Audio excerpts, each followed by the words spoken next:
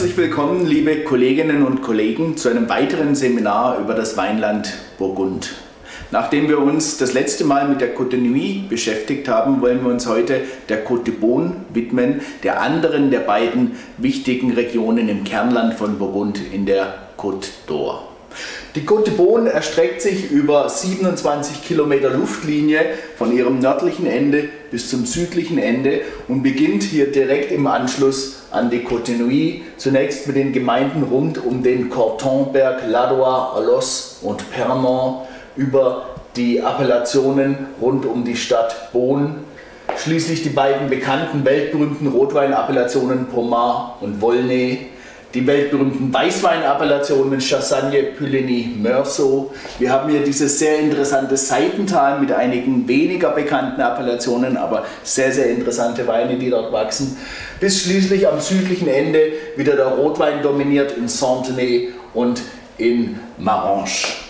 Eine relativ kleine, überschaubare Region, dennoch sehr, sehr viele unterschiedliche Appellationen und deshalb werden wir dieses Seminar auf drei Teile aufteilen und heute im ersten Teil beschäftigen wir uns hauptsächlich mit den Appellationen am Corton-Hügel und rund um die Hauptstadt Bonn.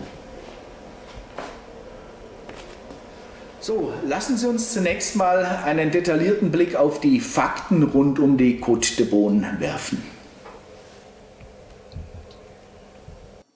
Hier haben wir die Übersichtskarte über das gesamte Anbaugebiet Burgund mit seinen fünf Regionen. Die Côte de Beaune um die Stadt Beaune, nördlich davon die Côte de Nuit zwischen Dijon und Nuit-Saint-Change, südlich davon die Côte Chalonnaise bei der Stadt Chalon-sur-Saône und ganz unten im Süden das Mâconnais als Bindeglied zwischen der Côte Chalonnaise und dem südlich davon gelegenen Beaujolais. Und als fünfte Region gibt es das Grand Auxerrois hier oben im Nordwesten mit der bekannten Appellation Chablis. Wir wollen uns aber heute auf die Côte de Beaune konzentrieren. Hier sehen wir die Côte de Beaune im Detail. Die Côte de Beaune verfügt über 5950 Hektar Rebfläche. Das sind circa ein Fünftel der Gesamtrebfläche von Burgund. Wie auf der Karte schon gezeigt, sind es 27 Kilometer von Norden nach Süden in der Ausdehnung. Und bei der Aufteilung zwischen Weißwein und Rotwein sehen wir hier 43% Weißwein und 57% Rotwein. Und das steht natürlich jetzt im Gegensatz zur Côte Nuit, wo wir diese deutlichen dominanten Übergewicht von Rotweinen vorgefunden haben. Der Grund hierfür liegt wiederum im Boden Burgunds. Hier haben wir die Schichtungen im Boden des Jurakalk, wie man ihn in Burgund findet. Zwischen 150 Millionen und 250 Millionen Jahre alt, also in einem Zeitraum von circa 100 Millionen Jahren entstanden. Unterschiedlich alte Schichten, die sich übereinander gelagert haben. Während wir in der Côte Nuit hauptsächlich hier im mittleren Jura beheimatet waren, ist das Schichtenpaket der Côte Beaune deutlich höher gelegen in jüngeren Schichten. Es dehnt sich deutlich weiter aus. Man sieht es hier auf dieser Grafik noch deutlicher. Die Côte Nuit hat einen relativ begrenzten Abschnitt im mittleren Jura, während die Côte Beaune weiter hinaufreicht ins obere Jura, aber auch ins untere Jura hinuntergeht. Man hat also eine größere Diversität von Böden in der Côte de Beaune und deshalb eben sowohl hochwertige Weißweine als auch hochwertige Rotweine, weil es für jeweilige Weintypen hier jeweilige Böden gibt. Schauen wir uns an, welche Appellationen wir in der Côte de Beaune finden. Zunächst die regionalen Appellationen. Es gibt Bourgogne Haute Côte de Beaune, das sind die Weinberge hier oben am oberen Hang und auf dem Plateau, die früher mal eher zweitklassig angesehen wurden, weil relativ kühl in dieser Höhenlage, aber in Zeiten des Klimawandels werden auch diese Weinberge immer interessanter. Dann gibt es die Appellation Bourgogne Chapelle Notre Dame die sich hier befindet zwischen Ladois und Alos Corton. Äh, eine ganz interessante Appellation, eine der Ausnahmen im äh, Appellationssystem von Burgund, denn es ist eigentlich eine regionale Appellation, deshalb heißt sie Bourgogne im ersten Wort. Tatsächlich handelt es sich aber um eine Einzellagenappellation Chapelle Notre Dame, die Weinberge bei dieser Kirche südlich von Ladois. Und diese Ausnahmesituation, dass eine regionale Appellation eigentlich eine Einzellagenappellation ist, gibt es nur viermal in Burgund und nur einmal in der Côte de Beaune, eben hier bei Chapelle Notre Dame. Dann haben wir die 19 kommunalen Appellationen der Côte de Beaune von Norden nach Süden hier aufgelistet, von Ladois bis Marange, die sich in diesem Streifen befinden. Und zusätzlich gibt es noch die Appellation Beaune Village, die vor allem verwendet wird, wenn man einen Blend von den jeweiligen kommunalen Appellationen vornimmt. Die Beaune Village Appellation ist zulässig für die meisten dieser 19 Appellationen, jedoch nicht für Alox-Corton, Beaune, Côte de Beaune, Pomard und Volnay. Und jetzt werfen wir noch einen Blick auf die Grand Cru-Appellationen. Da haben wir hier oben am Corton-Hang die drei Appellationen Corton, Corton Charlemagne und Le Charlemagne, wobei die letztere Charlemagne eigentlich nur noch auf dem Papier existiert und tatsächlich nicht mehr verwendet wird. Weiterhin gibt es die fünf Morachet Grand Crus, die wir hier unten im Süden finden, mit dem Bienvenu Batin Morachet, Criot Batin Morachet, Batin Morachet, Chevalier Morachet und Le Morachet. Wir beginnen unsere Weinreise heute mit einem Rotwein aus der Gemeinde Ladois.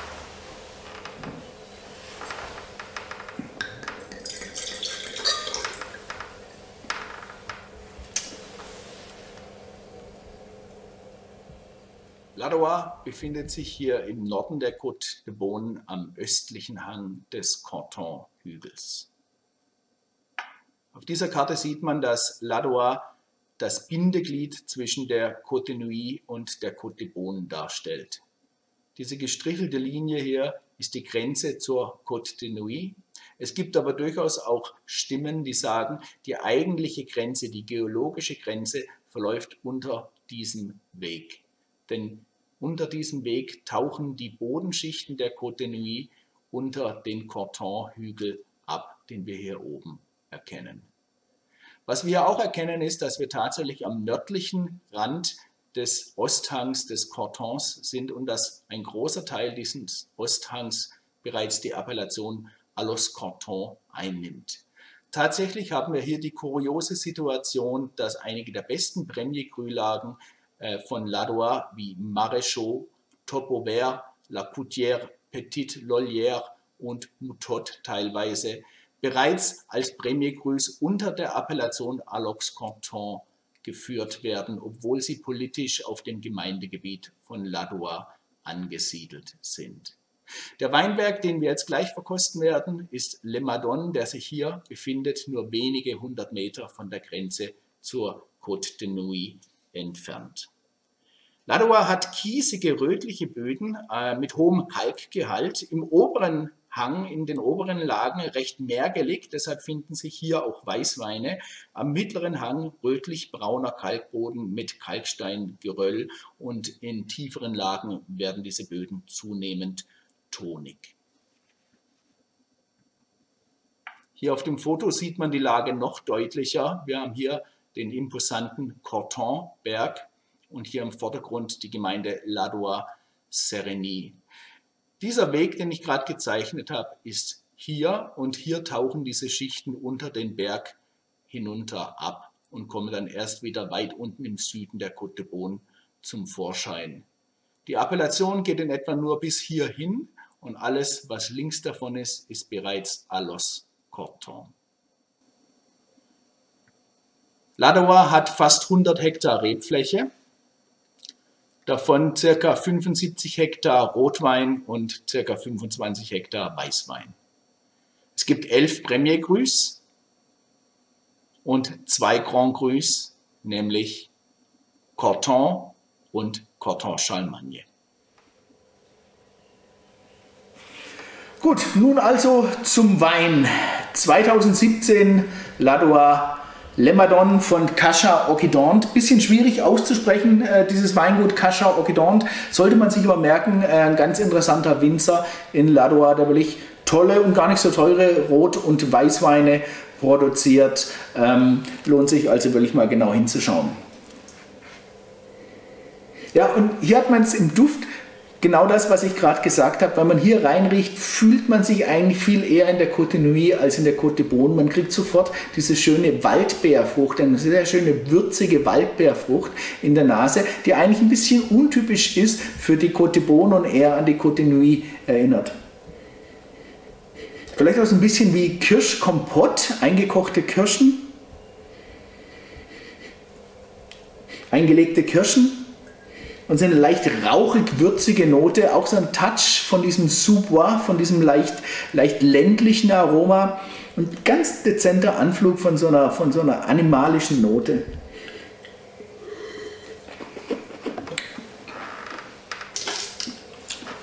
Auch am Gaumen eher eine schlanke Ansprache als diese übliche etwas voluminösere, etwas saftigere Ansprache, die wir kennen von der Côte de Beaune eher dieser etwas elegantere, straffere Stil, auch vom Tannin her, wie man ihn in der Côte Nuit findet. Er hat natürlich jetzt nicht ganz die Tiefe eines Weins aus der Côte Nuit, aber er zeigt sehr, sehr schön diese Aromaverwandtschaft mit den Weinen, die nur ein paar hundert Meter weiter nördlich gewachsen sind.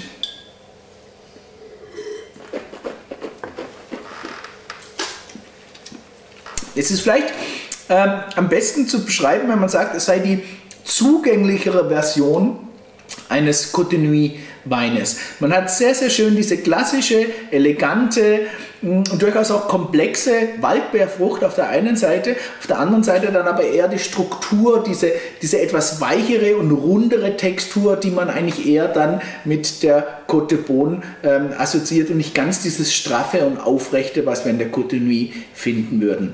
Ganz interessanter Wein, der äh, sehr schön eigentlich beide, Wel beide Welten, den Norden von der Côte de Nuit und den Süden von der Côte de Beaune, verbindet.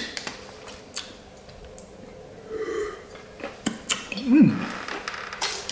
Nach dem Finish spürt man eine sehr, sehr schöne, feine Verwobenheit von diesem mineralischen, leicht erdigen Bodenton mit dieser schönen, würzigen Waldbeerfrucht.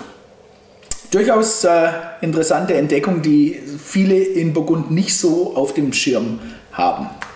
Gut, dann gehen wir äh, ein paar hundert Meter weiter äh, zur Appellation Alos Corton, die wir ja gerade schon angesprochen haben, die deutlich berühmtere Nachbarappellation südlich von Ladois.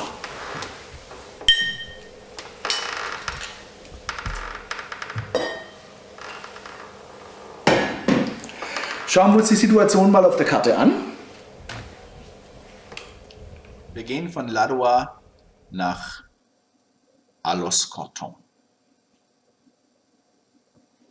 Hier sehen wir die Weinbergskarte von Alos Corton und was man gleich erkennt ist, dass der größte Teil der Weinberge sich hier am Corton Grand Cru Hügel befindet. An der Ostflanke überwiegend Rotweine, hier im oberen Bereich jedoch auch Weißweine und hier an der Südflanke hauptsächlich Weißweine mit der berühmten Appellation Corton Charlemagne. Der Weinberg, den wir jetzt gleich verkosten werden, befindet sich hier, La Top Martenot, quasi zu Füßen der Appellation Corton Charlemagne. Alox Corton hat rötlich-braune Böden mit Feuerstein- und Kalksteingeröll. Diese Feuersteinkiesel, auch Caillot genannt, sind sehr, sehr typisch für diese Appellation.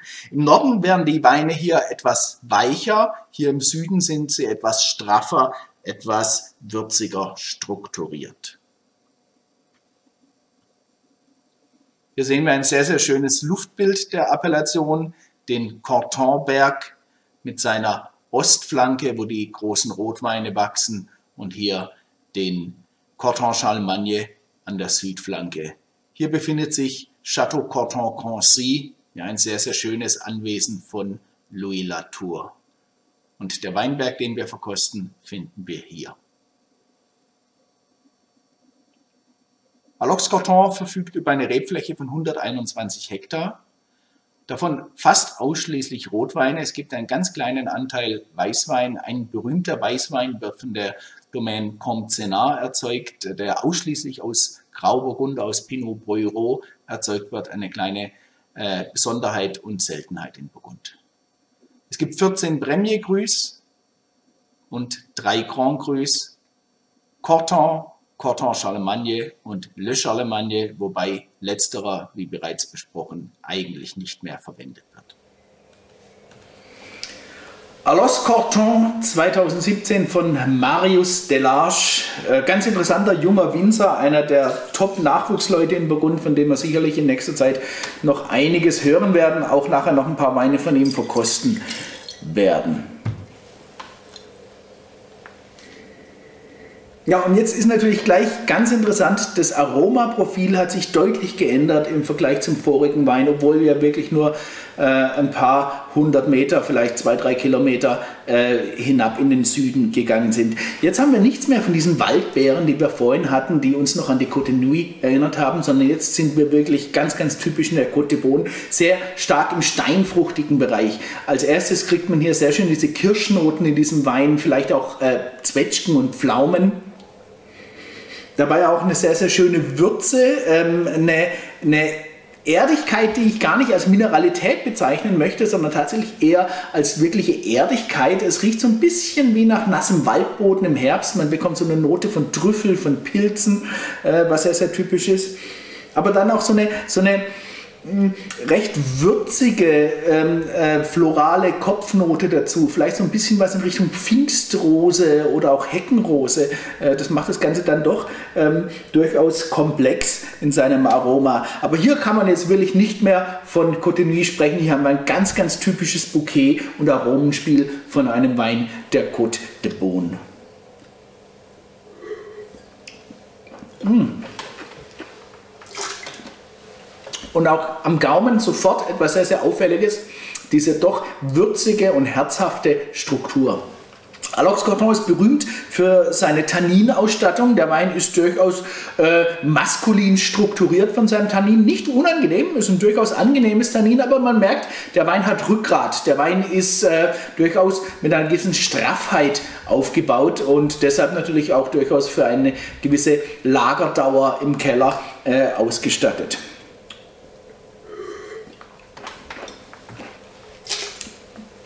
Ausdrucksvolles Aroma auch im Gaumen. Hier jetzt sehr, sehr deutlich mit Betonung auf, ähm, auf diesen Kirschen, die wir haben. Und zwar sowohl rote als auch dunkle Kirschen. Das ist eigentlich sehr, sehr typisch für diesen Wein. Man findet nicht nur diese dunklen Aromen, die wir vorhin äh, gehabt haben, sondern tatsächlich auch rote und dunkle Aromen. Ich habe rote und dunkle Kirschen, vor allem rote Pflaumen jetzt am Gaumen. Diese, diese Erdigkeit ist jetzt am Gaumen gar nicht so sehr ausgeprägt, die hat man eigentlich mehr in der Nase. Sicherlich ein Zeichen dafür, dass der Wein noch relativ jung ist. Das wird er auch am Gaumen mit den nächsten ein, zwei Jahren äh, entwickeln. Durchaus vielschichtig, durchaus charaktervoll. Und hier zeigt sich tatsächlich schon ein bisschen die Verwandtschaft äh, und die Nähe zum Corton-Berg, äh, der ja nur ein paar hundert Meter äh, von diesem Weinberg entfernt ähm, beginnt. Wir sind ja zu Füßen des Cortons hier gelegen.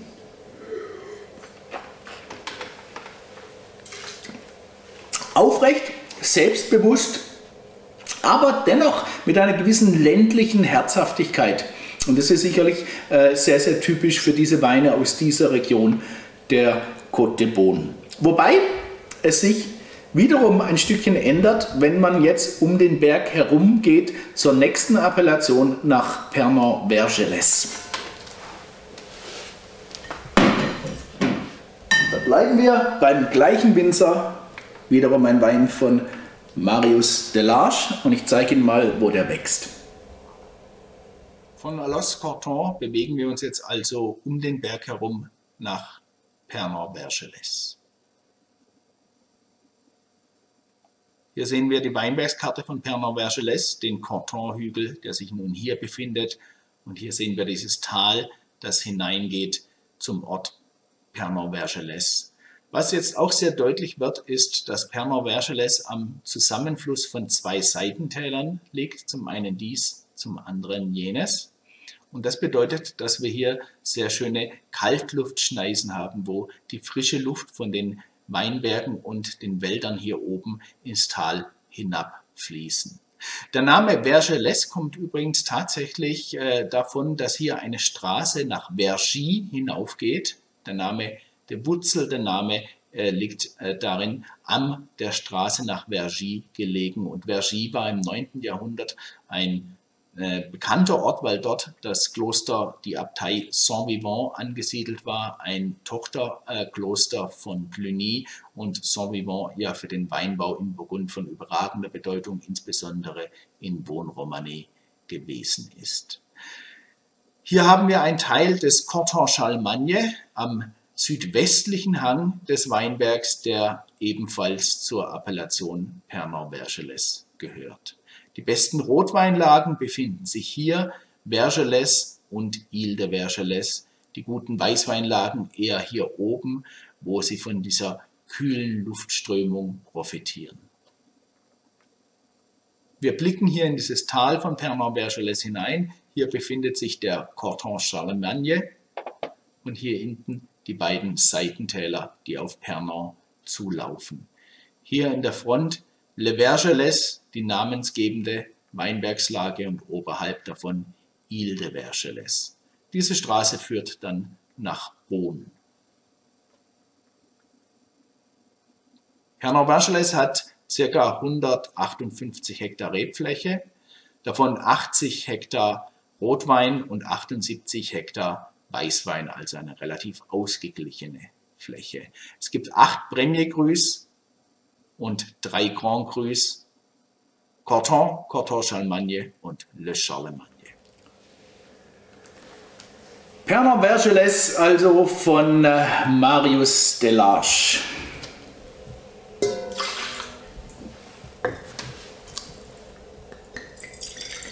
Fällt jetzt schon auf beim Eingießen, er ist vielleicht ein bisschen leichter in der Farbe als der Alos Corton, den wir gerade hatten.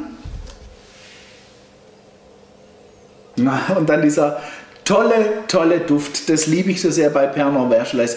Äh, man riecht in diese Weine rein und hat sie sofort lieb. Man kriegt äh, eine sehr, sehr schöne, attraktive äh, Fruchtnuance mit roten Früchten jetzt hier. Blaue Früchte finde ich hier eigentlich gar nicht.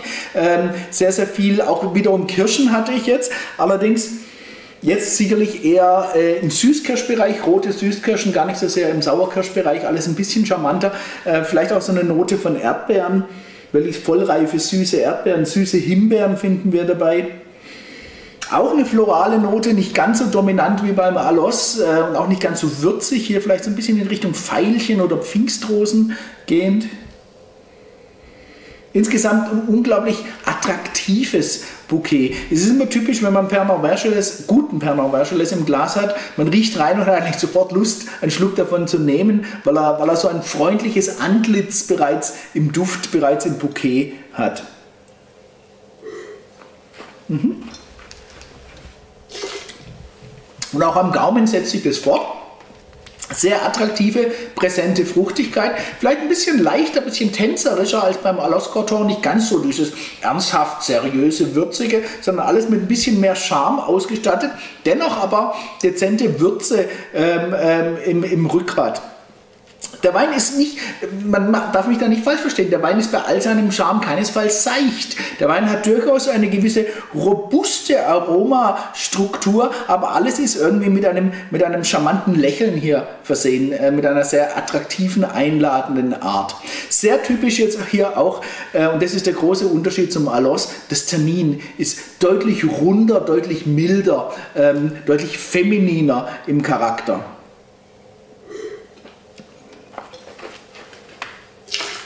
Während wir beim Alos das Tannin im Vordergrund hatten, ist es hier eigentlich eher ein bisschen die Säure, die den Wein belebt. Und das zeigt natürlich die Frische, die wir hier im Seitental, in diesem kühlen Seitental von Pernod Vergelès haben, die sehr, sehr typisch für diese Appellation ist. Insbesondere auch im Finish zeigt sich das ein sehr, sehr schönes, präzises, feines, äh, attraktives Säurespiel, was diese Weine ähm, äh, sehr trinkig werden lässt. Die Weine haben eine sehr schöne Trinkgeschwindigkeit, äh, sind, sind unglaublich animierend im Trinkfluss und von daher natürlich gerade in der Gastronomie ideal geeignet.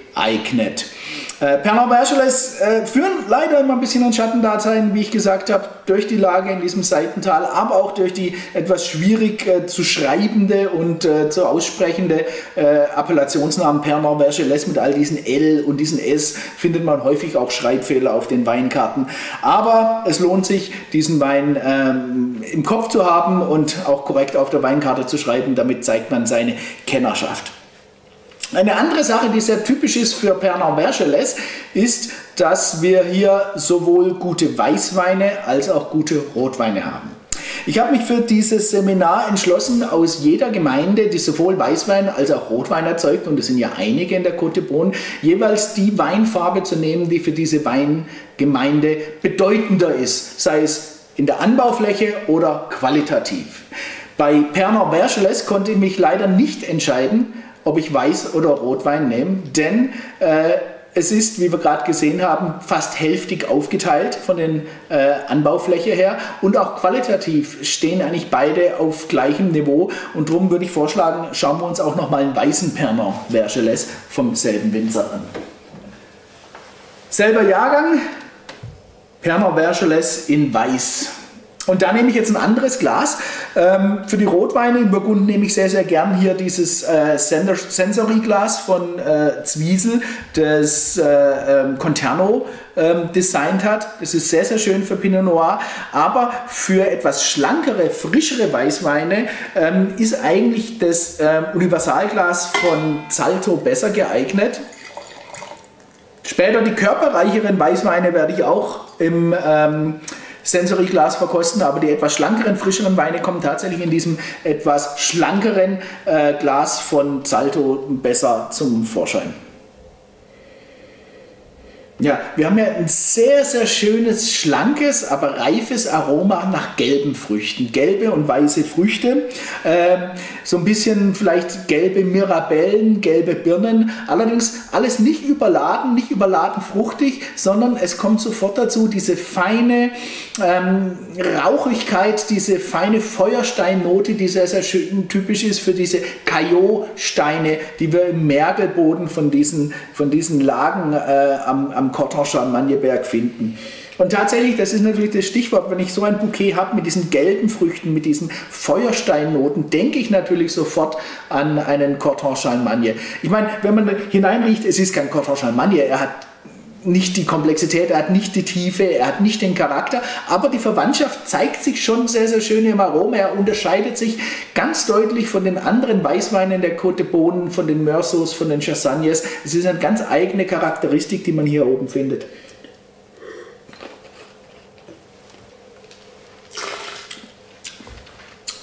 Jetzt am Gaumen noch deutlich zitrusfruchtiger unterlegt, aber auch hier wieder reife gelbe Zitrusfrüchte Gar nicht so sehr diese sehr säuerliche, vielleicht auch so ein bisschen kantierte äh, äh, Zitrusschalen, die man dabei findet.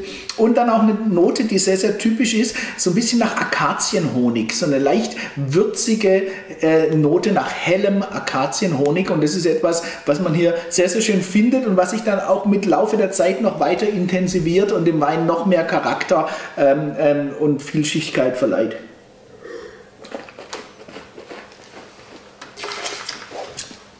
Prägnante Mineralität am Gaumen. Man merkt, äh, eine geradezu salzige Art, die sich aber wiederum deutlich unterscheidet von der Mineralität, die wir dann später finden werden in Chassagne, in Pulligny. Es ist eher diese, diese mergelige, äh, feuersteinige Mineralität, die man hier sehr, sehr schön ähm, ähm, am Gaumen findet.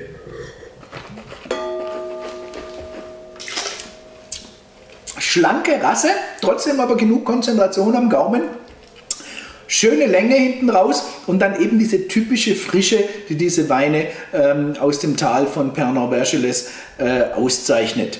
Ähm, ich weiß nicht, was ich jetzt lieber trinken würde von diesen beiden Weinen, äh, aber wahrscheinlich ist es wie immer, es geht nicht um entweder oder, sondern um sowohl als auch.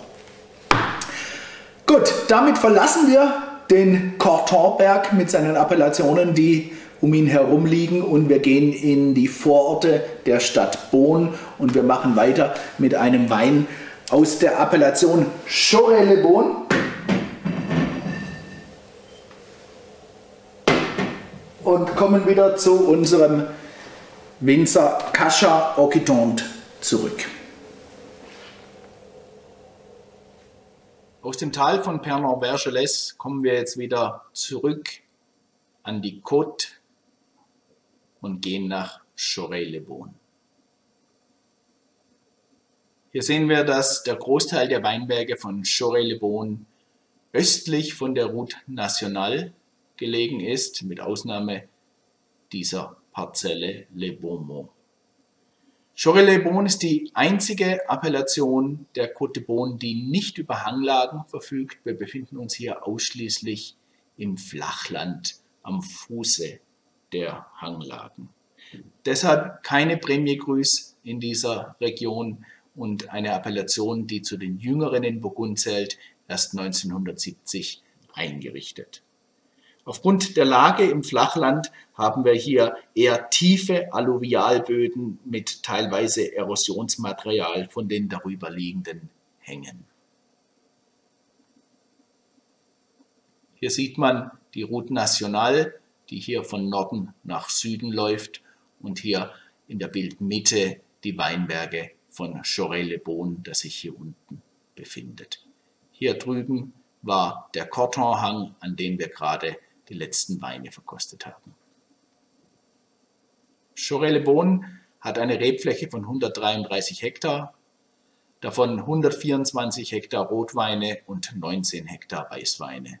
Es gibt keine Premier Cruise in dieser Appellation und selbstverständlich auch keine Grand Cruise. Gut, Chorey, den weißen machen wir jetzt mal weg. Chorey Le Bon ist jetzt ein 2018er. Tut aber nicht weh, weil Chorey Le Bon eine Appellation ist, die man grundsätzlich jung und frisch trinken sollte. Die Weine können durchaus ein paar Jahre reifen, fünf, sechs Jahre, aber älter sollten sie eigentlich nicht werden. Das sind Weine, die trinkt man jung und frisch. Wenn ich reinrieche, dann will ich eigentlich gleich sagen, schön. Der Wein riecht gut, er riecht nicht sehr kompliziert, äh, er macht einfach Freude, wenn man den ersten ähm, äh, Duft in der Nase hat. Man braucht nicht lange analysieren, man hat eine sehr, sehr schöne Kirsch- und Erdbeerfrucht. Mineralität ist jetzt vielleicht nicht das ganz große Thema bei diesem Wein, auch diese florale Note hatte ich nicht jetzt im Vordergrund, aber man findet einfach eine unglaublich attraktive, ähm, geradlinige Frucht, die äh, einfach Spaß macht, sobald man reinriecht. Dieses unkomplizierte Wesen eines Chorey Le Bons zeigt sich hier sehr, sehr deutlich. Er ist relativ ausdrucksvoll für einen Chorey Le Bon. Verstehen Sie mich nicht falsch, das ist kein kleiner Wein. Ähm, Chorey Le Bon können kleine Weine sein, aber wir haben hier einen, einen Weinberg mit sehr, sehr alten Rebstöcken in dieser Appellation und deshalb haben wir, äh, obwohl es eine Flachlage ist, doch einen sehr, sehr guten Aroma-Ausdruck bei diesem Wein.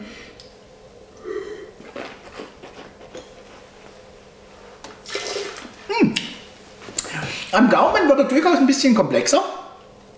Kommt so eine kleine Note von Lakritze dazu, was diese, diese präsente, runde Frucht äh, durchaus fein unterstreicht.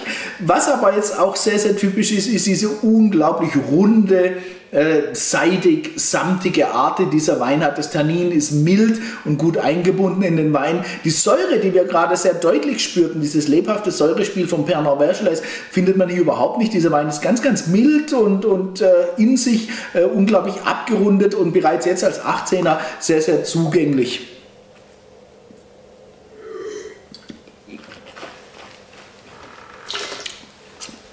Das sind sicherlich keine Weine, über die man jetzt groß diskutiert, die man groß ähm, analysiert und immer wieder neue Aromen herausschnuppern möchte. Das sind einfach Weine, die gießt man ein, trinkt und hat Freude dran.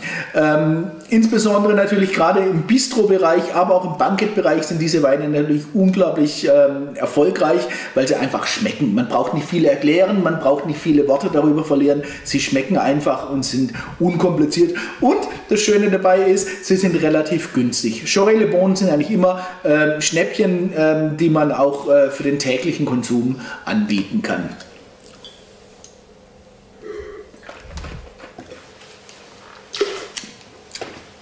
rundes, harmonisches Finish, klassische Pinot Noir Frucht, ähm, viel Charme, viel Zugänglichkeit, schmeckt. Was will man mehr? Wenn man mehr will, dann muss man natürlich in eine andere Appellation gehen und das werden wir jetzt gleich sehen, wenn wir nach Savigny-Le Bon gehen. Auch hier ein guter Vergleich, weil wir beim selben Winzer bleiben. Auch selber Jahrgang, ein 2018er Savigny Le Bon. Aus dem Flachland von Chorey-le-Bon geht es also wieder hinauf in den Hang hinein in das kleine Seitental von Savigny-le-Bon. Hier sehen wir dieses Seitental. Hier ist die Autobahn, die von Bonn nach Paris führt und wir sehen dieses kleine Tal des Flüsschens Rouen, das hier läuft und zu beiden Seiten dieses Flüsschens die Weinberge von Savigny-le-Bon. Wir haben hier unten am Hangfuß eher flachere Lagen, hier oben werden sie deutlich steiler. In den unteren Lagen finden sich die Alluvialböden des Flüsschens Rouen, in höheren Lagen entspricht dann die Geologie der des Cortonberges. Richtung Perner Vergelès die, wird die Exposition deutlich südlicher, wie man hier erkennt, und die Böden sind steinig mit vereinzelter Durchmischung von eisenhaltigem Olit. In den tieferen Lagen hat man rötlich-braunen, tonigen Kalkboden und hier am Gegenhang mit östlicher Exposition ist der Kalkboden auch mit Sand durchmischt. Hier ist das Luftbild von diesem Tal. Man sieht die Autobahn, die sich hier nach Paris zieht und dieses kleine Tälchen des Flüsschens Rouen und zu beiden Seiten die Weinberge.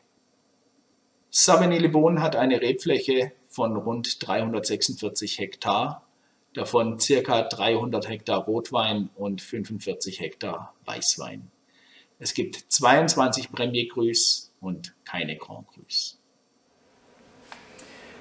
Das ist jetzt ein Wein, auf den ich mich auch sehr gefreut habe, denn Savigny ist eine dieser Appellationen, auf die man wirklich einen besonderen Blick richten sollte. Äh, eine dieser Appellationen, die ein bisschen in einem Seitental abseits der äh, Hauptrichtung der Côte äh, liegen und die oftmals mit ganz besonderem Preis-Leistungs-Verhältnis äh, sehr schön überraschen können. Da gehen die Ströme der Touristen ein bisschen dran vorbei und deshalb liegen sie ein bisschen in Schatten der bekannteren Appellationen und darum findet man hier oftmals wirklich tolle Weine zu relativ günstigem Geld. Savigny hatte früher eigentlich keinen so guten Ruf, stand immer im Schatten des berühmten Nachbarn äh, der Stadt Bonn. Äh, aber irgendwann hat sich das etabliert, dass dort einige wirklich gute Winzer äh, Fuß gefasst haben und ganz interessante Weine gemacht haben, die dann manchmal sogar äh, die Qualität eines guten Bodens erreichen und manchmal sogar, äh, sogar über, übersteigen können.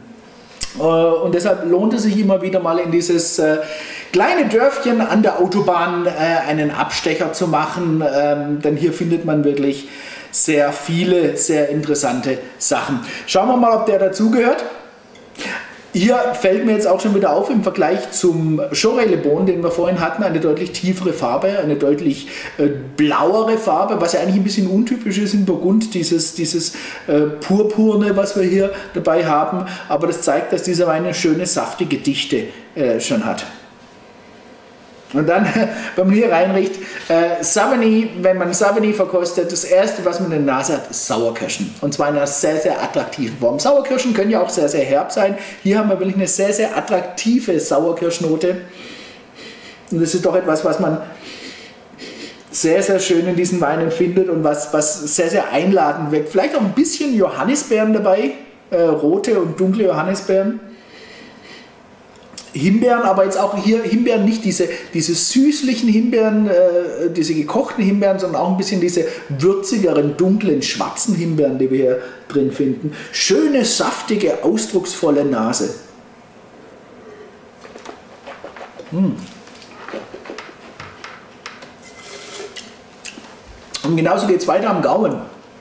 Das erste Wort, was mir jetzt in den Sinn kommt, ist fleischig. Der Wein hat eine fleischige Textur mit sehr schön präsenter, ausdrucksvoller Sauerkirschfrucht.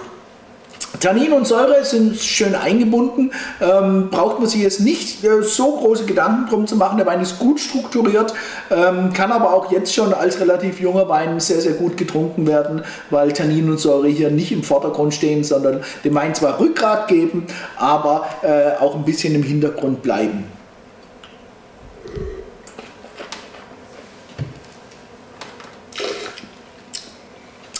Es ist eine sehr schöne Saftigkeit, ohne dass der Wein dann irgendwie plump oder zu schwer wirken würde. Ähm, es ist nicht die äh, allergrößte Vielschichtigkeit jetzt am Gaumen. Sie ist sehr, sehr deutlich geprägt, die Aromastilistik von dieser Sauerkirschnote. Ähm, Aber dabei ist es sehr, sehr attraktiv und, äh, das weiß ich, diese Komplexität, insbesondere am Gaumen, wird sich in den nächsten ein, zwei Jahren äh, noch entwickeln. Da wird noch ein bisschen mehr äh, dann dazukommen. Vielleicht auch hier dann wieder so ein bisschen eine erdige Note, die dann das Aroma bereichert. Aber jetzt schon mit dieser saftig-fleischigen äh, sehr, sehr klaren Sauerkirschfrüchten natürlich eine sehr, sehr attraktive Art, einen Pinot Noir zu genießen.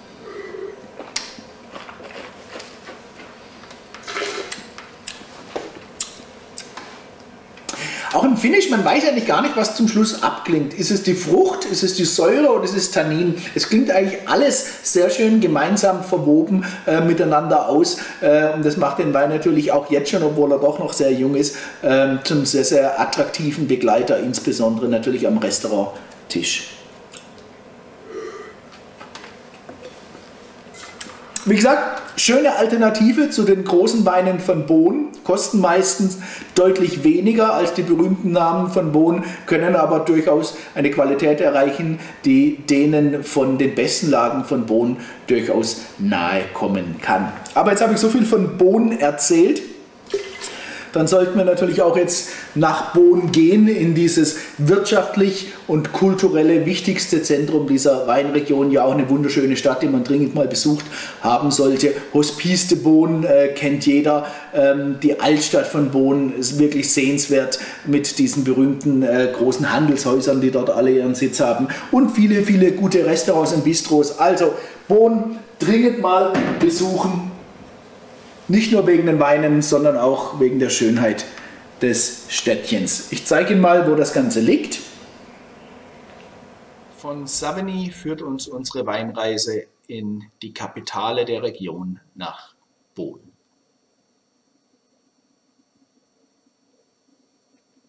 Hier sehen wir diesen sehr, sehr schönen homogenen Hang oberhalb der Stadt Bonn, der über einige hervorragende Premier Cru-Lagen verfügt, die leider manchmal ein bisschen im Schatten stehen, weil sie zum Großteil in Besitz der Negociants, der Handelshäuser der Stadt Bonn äh, sind. Nichtsdestotrotz finden sich hier wirklich einige hervorragende Terroirs, insbesondere hier im Zentrum berühmte Lagen wie Greve, Teuron oder Gras. Hier im Süden Claude Mouche, der ja für seinen Weißwein sehr, sehr berühmt ist. Wir finden in Bonn Böden aus Olit und Rorassien, Kalkstein hier im oberen Bereich des Hanges, auf die wir dann nachher noch äh, im Detail eingehen werden. Der Hang selbst hat relativ tiefe Böden aus Argovienmergel, teilweise durchmischt mit eisenhaltigem Oxfordienkalk. Am Hangfuß wird es wie üblich in Burgund etwas toniger. Es gibt aber auch eine deutliche Unterscheidung zwischen Nord und Süd an diesem Hang. Im Zentrum sind die Weine am fruchtigsten, was eine sehr typische Charaktereigenschaft für die Weine von Bohn ist. Hier zum Norden hin wird der Wein, Weinbergsboden etwas sandiger und deshalb die Weine etwas leichter. Hier im Süden werden die Weinberge etwas flacher, etwas tiefer und deshalb die Weine auch etwas fester im Charakter teilweise aber auch sehr, sehr gute Weißweinlagen wie der berühmte Claude Mouche an dieser Stelle. Hier sehen wir jetzt ein sehr schönes Luftbild äh, der Region von Norden nach Süden aufgenommen. Hier im Vordergrund die Autobahn, die wir gerade auch in Savigny gesehen haben. Und dann hier dieser schöne einheitliche Hang oberhalb der Stadt Bonn. Bonn hat eine Rebfläche von 420 Hektar, davon 363 Rotwein und 57 Hektar Weißweine. Es gibt 42 Premier Crus, aber keine Grand Crus. Verkosten wollen wir die Appellation Bohn nun anhand eines äh, 2017er Bohn der Domaine Guy Amiot aus der Lage Longbois, ein Weinberg, der ein bisschen höher am Hang liegt und äh, die Domaine Guy Amiot, ja einer der Klassiker Burgunds, insbesondere für die Weißweine äh, bekannt. Die Domaine liegt in Chassagne, äh, macht aber seit einigen Jahren auch sehr, sehr interessante Rotweine und insbesondere der Bohn hier ist ein Geheimtipp. Äh, wird heute von Thierry und Fabienne, den beiden Söhnen, geleitet. Zwei wirklich nette Kerle. Ähm, eine dieser Domänen, die eine lange Historie haben, aber mittlerweile auch von jungen Winzern betrieben wird. Und jetzt ist es interessant, wenn man diesen Wein, dieses Bouquet ähm, vergleicht mit dem, was wir vielleicht noch im Gedächtnis haben, mit dem Savigny, den wir vorher hatten, mit der sehr, sehr saftigen, geradlinigen Sauerkirschfrucht, dann wird das Ganze hier doch deutlich komplexer, deutlich transparenter im Aufbau, äh, deutlich vielschichtiger, deutlich aufgespannter äh, in seiner Aromenvielfalt. Sehr, sehr vielfältige Früchte, äh, rote Früchte und schwarze Früchte. Ähm, ich habe rote Pflaumen, ich habe rote Johannisbeeren, auch so ein bisschen dunkle Maulbeeren dazu, also so eine eher waldfruchtige Note, die dazu kommt. Ein Anflug eingemachte Schlehen deutlich eine Mineralität jetzt in der Nase riechbar und jetzt wirklich so eine kalkige Mineralität. Man riecht hier wirklich diese steinige Mineralität in diesem Wein. Auch hier wieder Kirschen, die wir dabei finden. Jetzt allerdings nicht diese charmante Kirschfrucht, sondern eher so ein bisschen eine würzige Kirschfrucht. Ich vergleiche es immer gern mit so Gewürzkirschen, so eingelegte Kirschen, die man sehr, sehr schön hier dabei findet. Und hier wird man nicht so gleich schlau aus diesem Bouquet. Hier kann man nicht wie beim Savigny reinriechen und sagen, ich habe die Sauerkirsche, sondern hier muss man mehrmals reinriechen und sich das Bouquet Schicht für Schicht erschließen. Und es zeigt einfach diese größere Komplexität dieser Weine in Bohn an. So eine ganz dezente Unterholznote. Hier geht es aber tatsächlich jetzt nicht um den Boden, sondern um das Unterholz. Ich rieche so ein bisschen äh, vielleicht so ein, so ein, ein, ein ähm, altes äh, Zigarrenkiste, so ein bisschen Humus, so ein bisschen äh, äh, Mahagoniholz, was da mit reinspielt, was jetzt nicht, und das ist wichtig, vom Holzausbau kommt, vom Fass, sondern tatsächlich Noten sind, äh, die der Boden hier mit einspielt. Mhm. Transparent aufgefächert, wiederum am Gaumen. Der Wein hat angenehmes Volumen, aber er hat nicht wirklich Gewicht, er hat keine, keine Schwere am Gaumen, sondern er zeigt genau das, was große Rotweine in Burgund ausmachen. Aroma ohne jegliche Schwere, ohne Gewicht. Der Wein hat Rückgrat, ohne dass es aufdringlich wäre. Ähm, er hat Charakter und Würze, ohne dass es zu herzhaft wäre. Also die klassische Eigenschaft eines großen Pinot Noirs in Burgund, nämlich die balancevollen allen Eigenschaften von Frucht, Körper, Würze, äh, Rückgrat, Tannin und Säure, zeigt sich hier in exemplarischer Weise.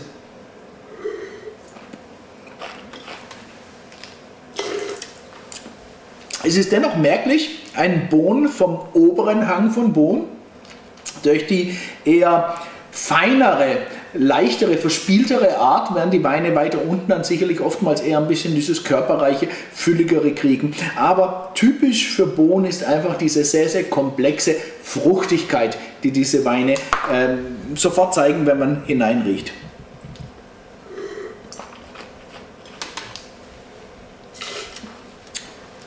Auch im Nachhall ähm, schillert der Wein geradezu in seinen Aromen. Man weiß gar nicht so genau, was jetzt am Ende im Aroma stehen bleibt, weil es ändert sich jeden Moment ein anderes Aroma. Ähm, kommt noch einmal hervor und, und tut diesen doch schönen äh, Nachhall äh, sehr, sehr interessant beleben ähm, und, und vitalisierend am Gaumen machen.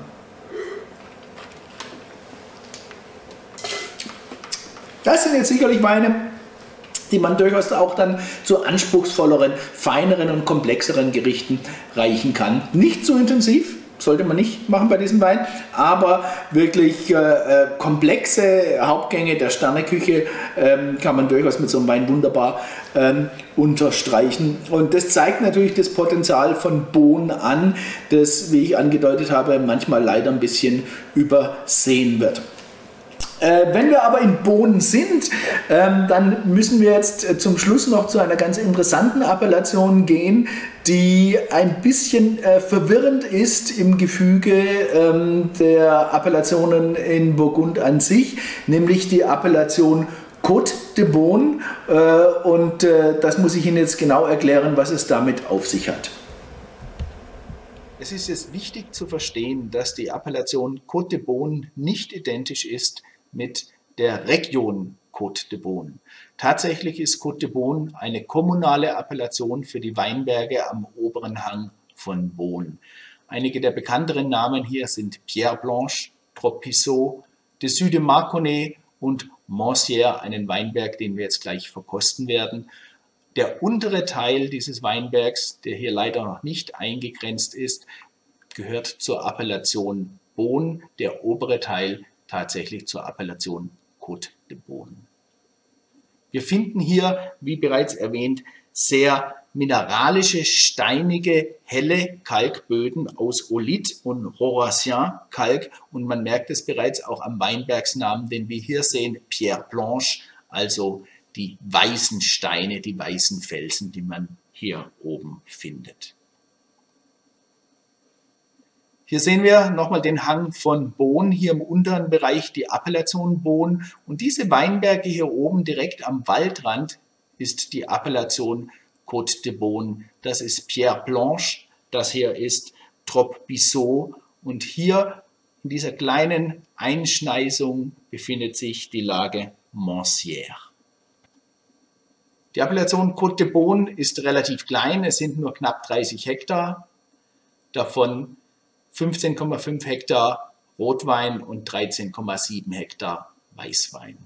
Es gibt keine Premier Cruise.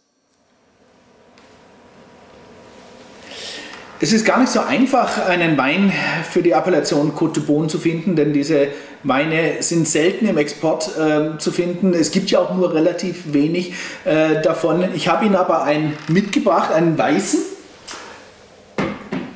nämlich einen 2017 Côte de Beaune der Domaine Le Jeune aus der Lage Monnière. Und diese Lage Monnière ist ganz interessant, weil der untere Teil von Monnière liegt in der Appellation Beaune und der obere Teil liegt in der Appellation Côte de Beaune. Auch hier wieder nehme ich das Universalglas. Für diese etwas schlankeren Weißweine ist es eher geeignet. Farbe fällt schon auf. Ähm, es ist eine eher helle Farbe für einen weißen Burgunder. Es ist ein, ein, ein, ein, ein, Strohgelb, ein helles Strohgelb mit, mit sehr schönen äh, kristallinen äh, Reflexionen. Es zeigt schon an, dass dieser Wein sicherlich jetzt nicht unbedingt das Körpermonster ist, sondern eher aus der eleganteren, frischeren Ecke kommt.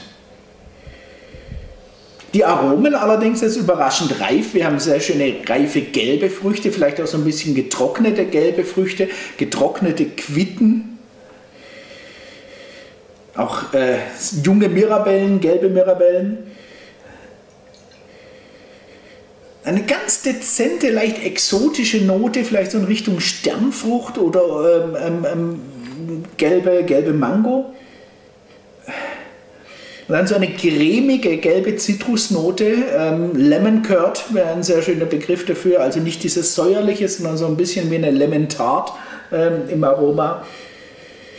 Durchaus ein attraktiver Duft. Holz finde ich jetzt nicht so viel, das ist sehr, sehr dezent. Der Wein hat offensichtlich kaum neues Holz gesehen, um diese doch schöne, klare, gelbe, präsente Frucht nicht zu sehr ähm, ähm, zu belasten. Und man riecht schon eine sehr schöne Frische in diesen Weinen. Wobei ähm, Frische ja oft auch assoziiert wird mit wenig Aroma oder zurückhaltendem Aroma. Und das ist hier eigentlich nicht so der Fall. Das Aroma ist wirklich ähm, ausdrucksvoll. Ein schönes, saftiges, ausdrucksvolles Aroma, aber eben nicht ausladend, sondern fein begrenzt mit der schönen Frische schon in der Nase. Schauen wir mal, ob es auch im Gaumen sich so bestätigt. Mhm.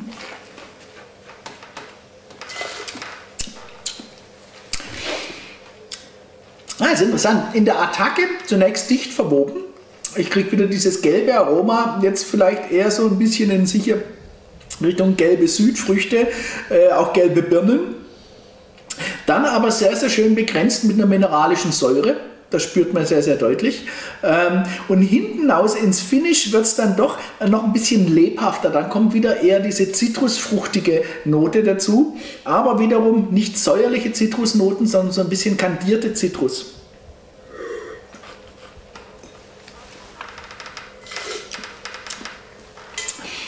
Vielleicht noch ein bisschen Sandelholz und Akazie das Finish wird dann doch durchaus komplex bereichert und wirkt sehr, sehr anregend, so ein schönes Aufspiel im Finish. Ähm, das ist einer dieser Weine, man nimmt einen Schluck und hat eigentlich sofort anschließend wieder Lust, den nächsten Schluck zu nehmen. Also eine sehr, sehr gute ähm, Trinkigkeit, ein sehr, sehr schöner Trinkfluss bei diesen Weinen. Sicherlich jetzt nicht der komplizierteste weiße Wein, den wir in Burgund finden können. Aber mit dieser Verbindung von äh, durchaus konzentrierter Frucht bei gleichzeitig schlank begrenzter Art, äh, ein durchaus attraktiver Stil, äh, was man hier finden kann und das ist natürlich sehr typisch für diese Weine von Côte de Beaune. Man merkt die Verwandtschaft zu den großen Weißweinen von Beaune durchaus an. Man merkt die Verwandtschaft äh, zu Weinen wie einem, einem Clos de Mouche sicherlich an. Aber äh, man spürt auch die Höhenlage und die zusätzliche Frische und dadurch hat der Wein einfach ein bisschen eine lebhaftere Art und nicht ganz diese Tiefe und Konzentration. Interessant sowas mal zu verkosten, zumal es auch nicht wirklich teuer ist, äh, diese Weine hier oben. Wenn man sie mal findet, sollte man das durchaus mal probiert haben. Gut, damit haben wir unsere kleine Weinreise vom Corton-Hügel bis nach Bonn abgeschlossen. Wir werden jetzt die Weine, die wir verkostet haben, nochmal im Abspann äh, detailliert auflisten und dann würde ich mich freuen, wenn wir uns dann zum nächsten Teil äh, unserer kleinen Weinreise durch die Côte de Beaune wiedersehen, wenn es dann um den mittleren Teil südlich von Beaune geht.